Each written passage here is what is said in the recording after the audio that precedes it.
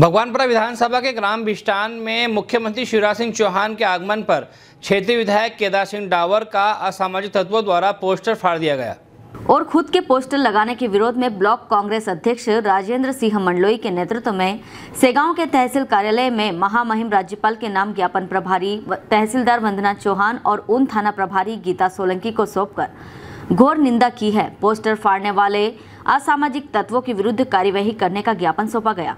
इस अवसर पर जनपद पंचायत अध्यक्ष श्रीमती सुनीता विजय डावर, जनपद उपाध्यक्ष ओम प्रकाश पाटीदार, राकेश पटेल, सरपंच संघ अध्यक्ष गोपाल भाबर, नज़र मोहम्मद सहित बड़ी संख्या में कांग्रेस नेता और कार्यकर्ता मौजूद थे। ज्ञापन के पूर्व विधायक जनसंपर्क कार्यालय से तहसील कार्यालय तक रैली भी निकाली।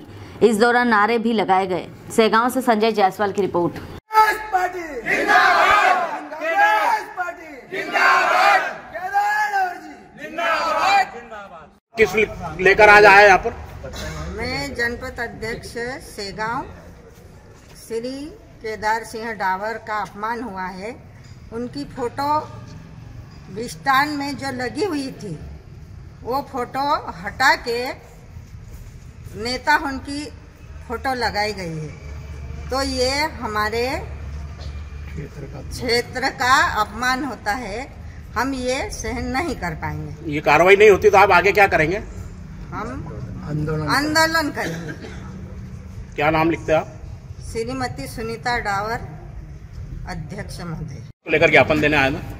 आज हमारे क्षेत्रीय विधायक श्री केदार डावर जी के जो परसों मुख्यमंत्री श्री शिवराज सिंह चौहान जी बिस्टान आदाकौरी में आए थे वहाँ पे हमारे विधायक जी के विधायक निधि से स्वागतदार जो बनाए गए थे, उनके फ़ोटो को हटाकर हटाकर माननीय शिवराज सिंह चौहान के फ़ोटो लगाए गए।